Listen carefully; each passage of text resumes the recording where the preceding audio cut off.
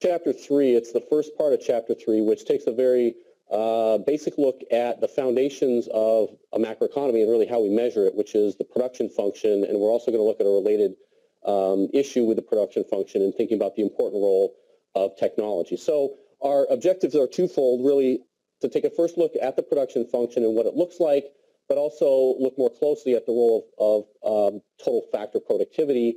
And as we'll see later on in uh, chapter six and seven, total factor productivity is going to take a very important role in uh, understanding the role of growth and how economies grow over time. So the first step is to take a look at our production function and um,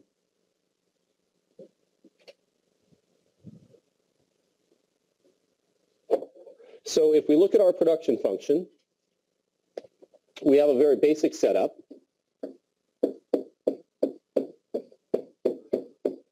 We assume that our economy is uh, dictated by some production function, which we're going to call F.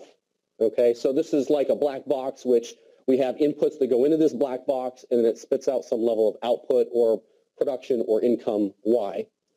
And then we have two basic inputs that we're going to assume. The first is capital, and we're going to denote that with a K, and the amount of labor in the economy, and we're going to denote that with an L. And so the idea is simply that we have these inputs into production, we dump them into this black box, this production function, and it spits out some level of output um, uh, for, for the economy, which can be used um, uh, to produce goods and services. And so we're going to make two basic assumptions, and I'll explain this in a little bit more detail in a second, but we're going to assume, excuse me, we're going to assume both capital and labor are what's referred to as exogenous, okay? So the idea is simply that those are uh, predetermined, and in some sense you can think of them as just dropping from the sky, okay? So these are not things that we can control, but they're just things that are, are predetermined in the long run. Now keep in mind, again, in this chapter and in ensuing chapters, we're looking at the economy from a long run focus. And so what that means is that, uh, again, these, these, the level of capital and the level of labor that's going to be available to the economy is predetermined. At some point in the future, two or three or four years from now, there's going to be some set amount of capital and labor, and there's nothing that we can do about it. So that's what we mean by exogenous or predetermined. They're sort of fixed in the sense that they're predetermined in the long run. And so if we put these uh, things into our production function, then what that means is if we assume that the level of technology really dictates our production function and what that looks like, right? So if we think about technology, we think about not only um, computers and information uh, sharing and, and those kinds of things, but we also think about the ways in which we put capital and labor together in this production process to spit out some level of output. So that's what we refer to or mean as uh, by technology. So if we assume that technology is going to be sort of fixed or predetermined in the long run, as well as our inputs, which we're assuming, then at the end of the day, what that means is that the total amount of output produced is also going to be predetermined or fixed. It's simply dictated by the amount of capital, the amount of labor, and the amount of technology that's going to be available through this production process. So that's what our uh, the basic framework for this production function looks like. Now, if we look at a very special type of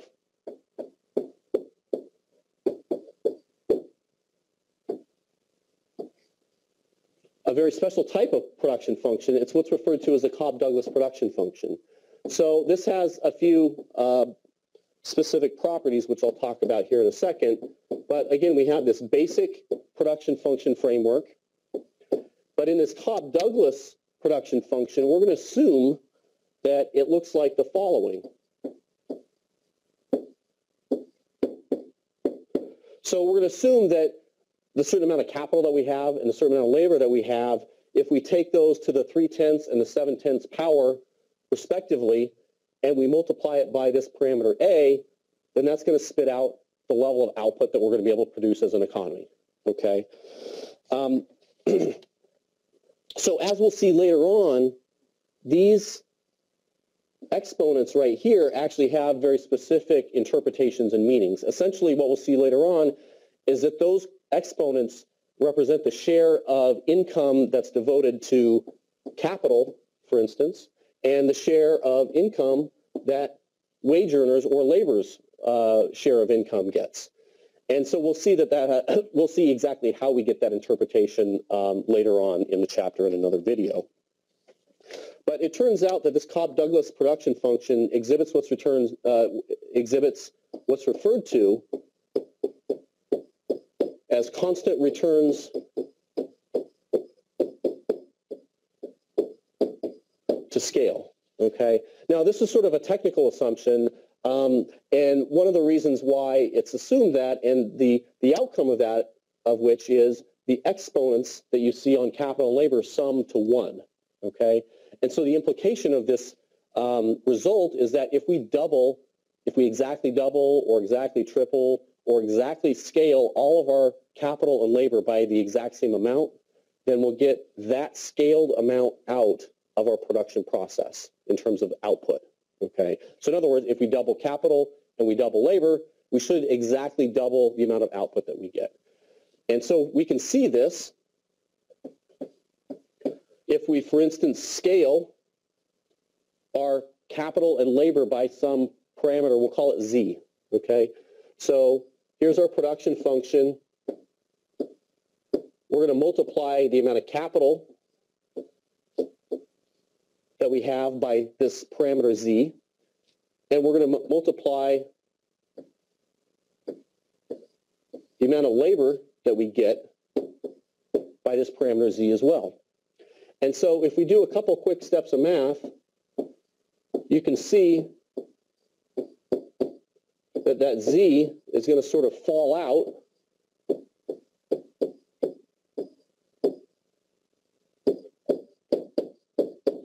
So if we have z to the 0.3 times z to the 0.7, we add the exponents, so we get z to the 1 power, which is just z.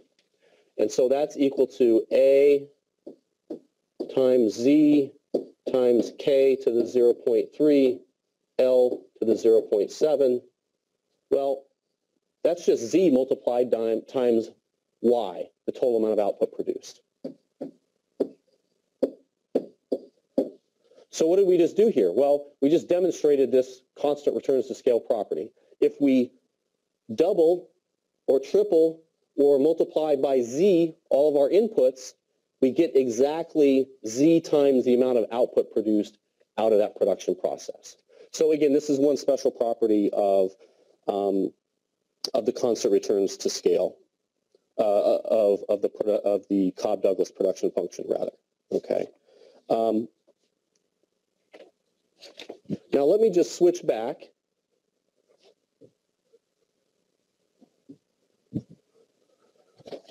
to our slides. So one of the other things that we want to, to look at is um, the, the production function in terms of the slope. Okay, so the slope is actually going to have a pretty important meaning as well.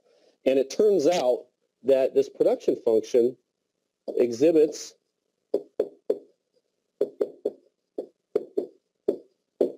what's referred to as diminishing marginal returns.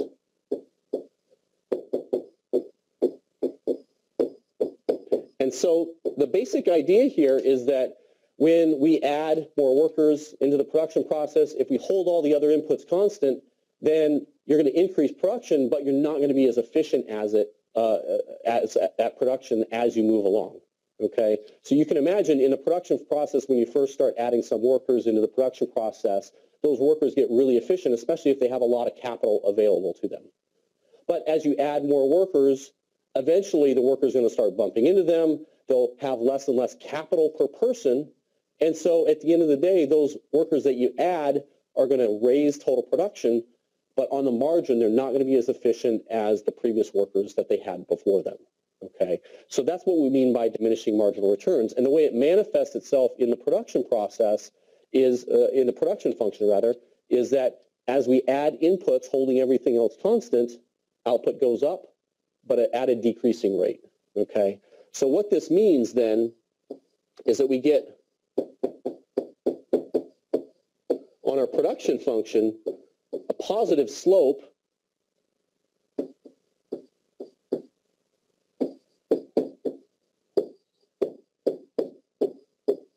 but it increases at a so-called decreasing rate.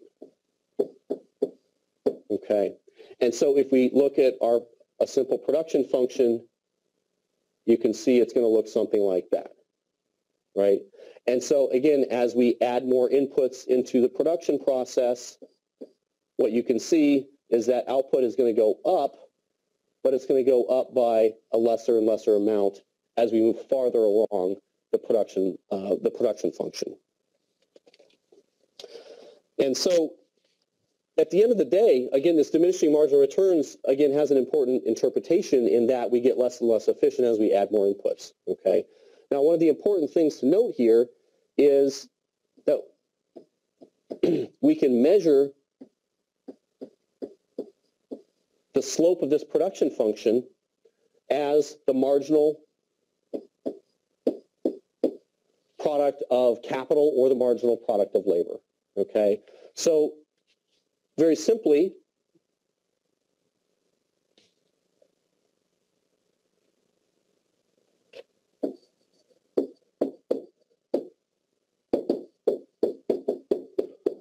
the marginal product of labor, for instance, there's two ways we can do this. We can do it, uh, the, I guess, the more simplified way, which is to say, well, if we add some amount of labor to the production process, then how much output do we get from that increase in labor. Okay, again, we're assuming capital is held constant.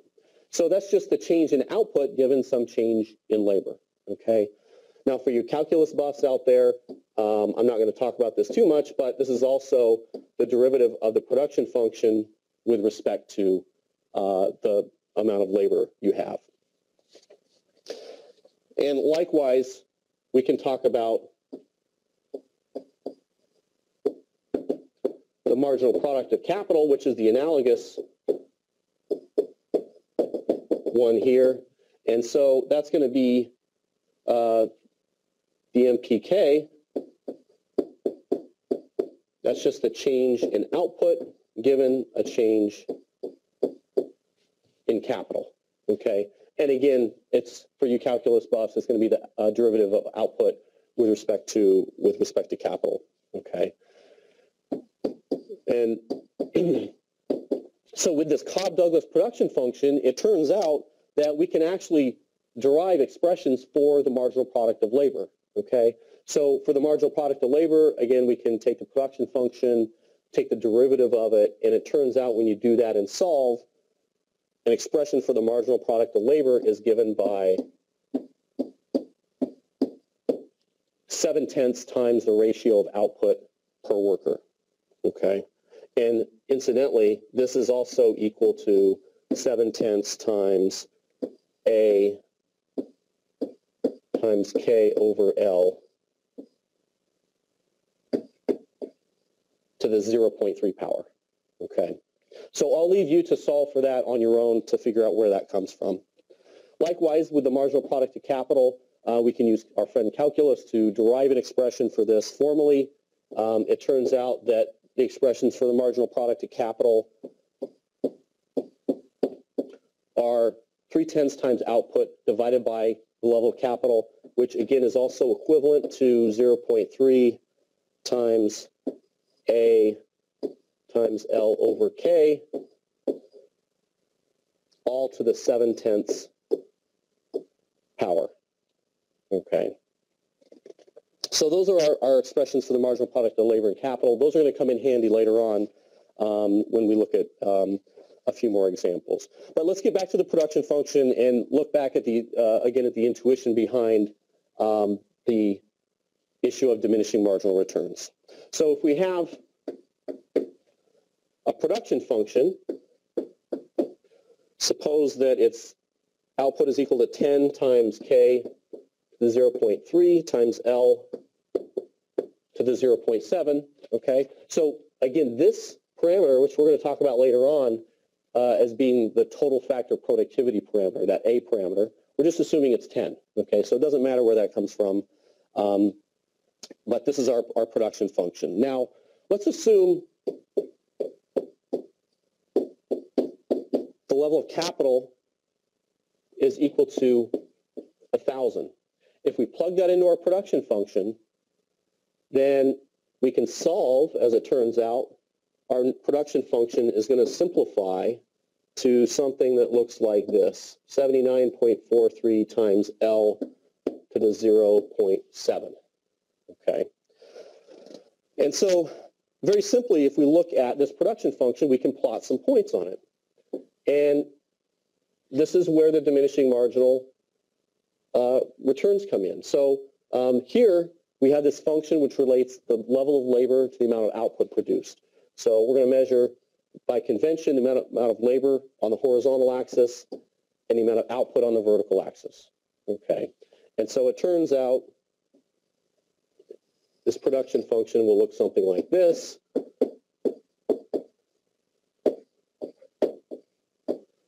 And so what we can, excuse me, uh, what we can do is just plot some points.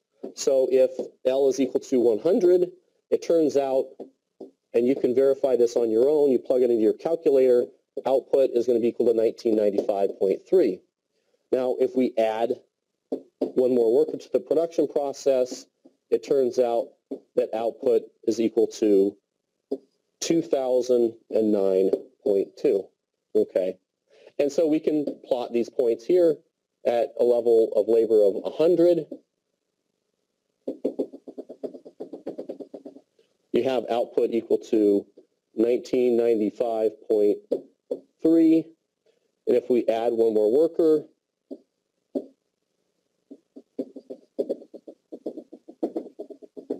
you have 2009.2. And so you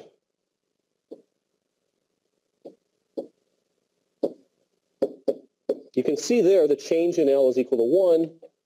And if we increase our labor by one more unit, the amount of output that we get, the change in Y is just given by the difference between these two. So if you just take the difference there, again, you can do the math on your own. The change in Y is equal to 13.9. Okay. So that's our marginal productivity of labor at, say, 100. So going from 100 to 101, we add one worker, we increase output by 13.9. Now, what if instead we said, well, if labor is equal to 1,000, what's output going to be? Well, again, you can do the math here. It turns out that uh, production is equal to 10,000 at that point. If we increase labor by one more unit, in this case, output ends up increasing to about 10,007. Okay, so you can see here, in this case, the marginal product of labor is equal to 7. And so, again, we can go farther along on our curve here. There's a 1,000. There's a 1,001.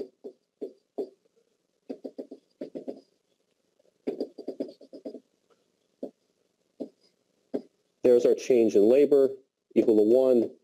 And again, you can see our change in output is smaller at 7 rather than 13.9. So again, this, uh, this is just an example to show you how you can see the diminishing marginal returns here.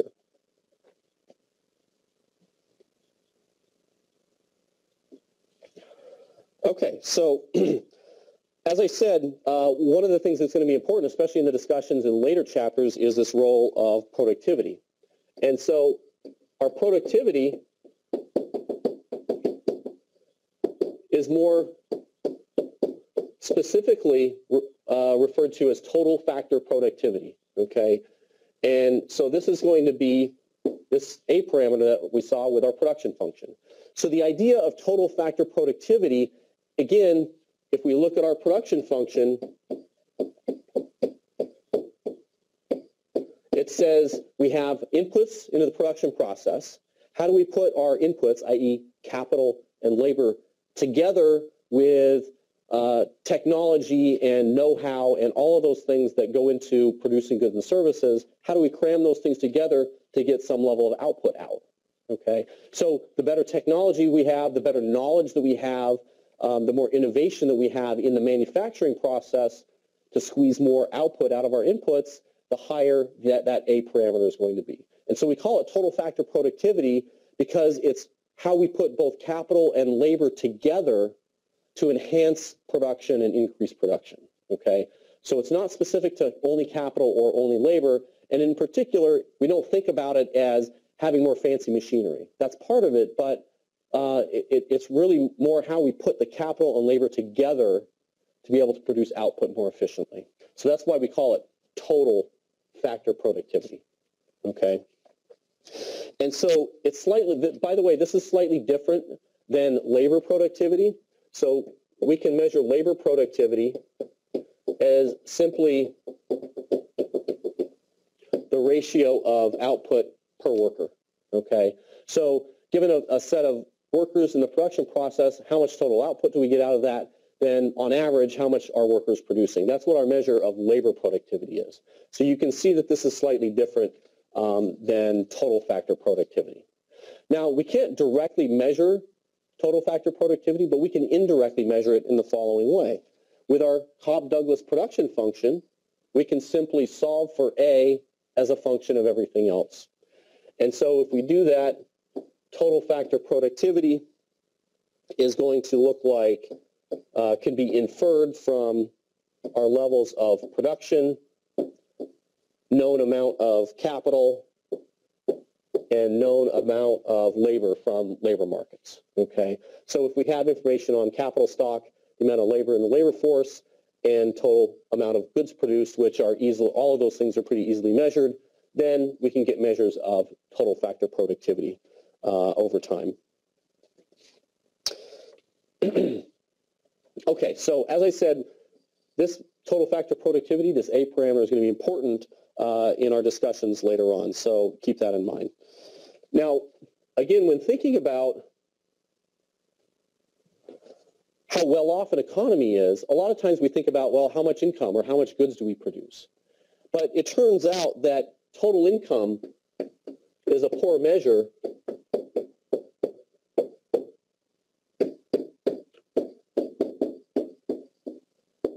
of standard of living.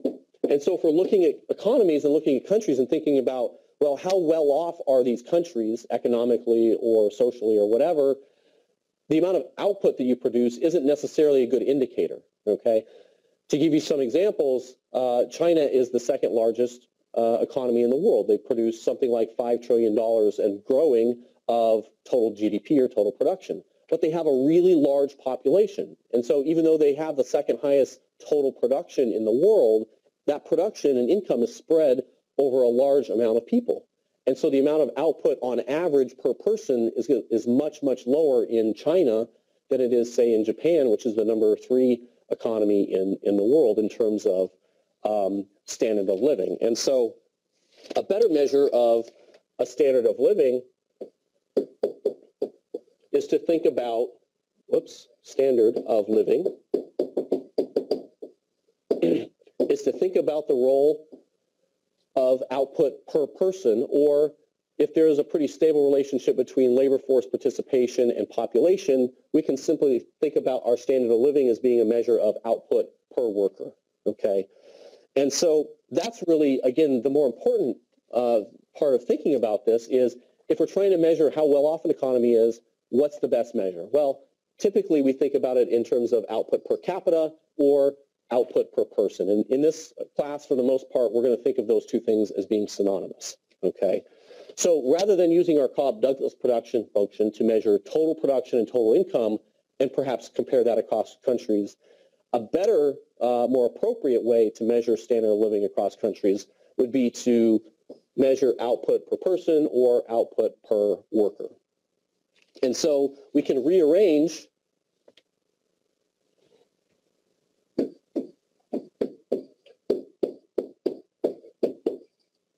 our standard Cobb-Douglas production function to take this into account. So the way we do this is we simply divide our production function by L on both sides. So we have y over L on the left-hand side. We have this divided by L part right there, right? And so if we solve for this, that's going to be A times, excuse me, uh, K to the 0.3, L to the minus 0.3. So we have L to the 0.7 times L to the minus 1. Again, we have a common base. We add the exponents. So 0.7 minus 1 is negative 0.3. We can rearrange this slightly differently as A times K over L to the 0.3 power, okay? And on the right, on the left-hand side, rather, we have this measure y over L. So we're going to make a notation change to simplify this a little bit. We're going to call this ratio of output per worker, or again, we think about this as output per person, as simply little y. So total output per, per, per person or per worker is just given by this little y. And then we're also going to denote our, the ratio of capital per worker available as a little k. And so when we do that, we can simplify our Cobb-Douglas production function in the following way. Total output per worker, that's little y, is just going to be equal to A times little k to the 0.3. So there's some basic things that we can um, get from this. First of all, what this tells us is, is that in order to increase our standard of living, we can increase total factor productivity or that A parameter. So that's one way that economies can improve their standard of living. The second is by increasing the capital stock and more specifically, increasing the capital stock available per worker. So having more capital available per worker makes each worker more efficient and therefore will produce more output, which you can spread across the same amount of people, thereby increasing the standard of living. And so that's the main punchline in, in terms of thinking about, um, again, why technology is important, but also why capital uh, is important. And so uh, if we um, look at this uh, relationship here, again, what I, whoops, what I just simplified here is that production function, right? So we can look at those two pieces, the technology piece and the capital piece. So this is a measure, excuse me, this is a measure of the amount of capital per person in the first column there, and it's measured relative to the United States, right? So the United States is one in all of these columns because everything is measured relative to the U.S. And so if we take that measure of capital per person and we multiply, uh, sorry, we take it to the 0.3 power, you get this thing right there. And so this is the important thing to see is uh, when we put that in together with total factor productivity, then that those two columns multiplied together gives us this thing here. Now, what are we to take away from this? Well, there's a couple of examples. So first of all, look at Japan. So Japan has a lot of capital per person, but you can see their total factor productivity is relatively low. So when you combine those two things together, their output per person relative to the United States is somewhat low, right? Um, the flip side of this is if you look at, say, the UK, in this data anyway, they have a relatively low capital per person or per worker. And so when we combine that with a somewhat higher total factor productivity, then they end up third in this measure of output per person. Okay, so the punchline is that both of these things together are important in trying to understand standard of living and uh, output per person.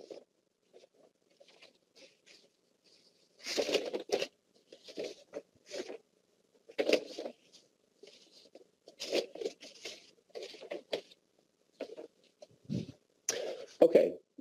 Um, excuse me. So again, this is um, a summary of the production function. We have the capital uh, here that we're measuring holding labor constant. So as we move up and down along this production function, you can see that output is going to increase, but at a decreasing rate. And we get the same result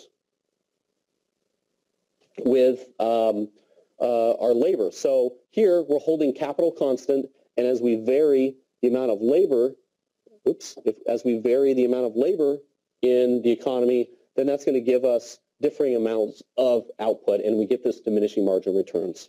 Okay. So the last thing I want to talk about is um, supply shocks and how it relates to uh, this production function. So in general, there's uh, various factors which are going to affect uh, this production function and affect the relationship between the inputs to production and the actual amount of output produced. And so generally we talk about them as being supply shocks. So we can have positive supply shocks which enhance the productive capacity of the economy. So holding our inputs constant, if we get a beneficial supply shock, that allows us to produce more output with the given inputs that we have, or at least the ones that we're measuring on our horizontal axis here. And so that's good because that means higher incomes, but as we'll see, it also means that those inputs become more productive, and that's going to be important later on when we talk about um, um, shares of income and wage growth in particular. And so we can also have negative supply shocks. And so if we have a negative supply shock, and I'll talk about these in a second, that's going to have the effect of rotating down that production function. Okay.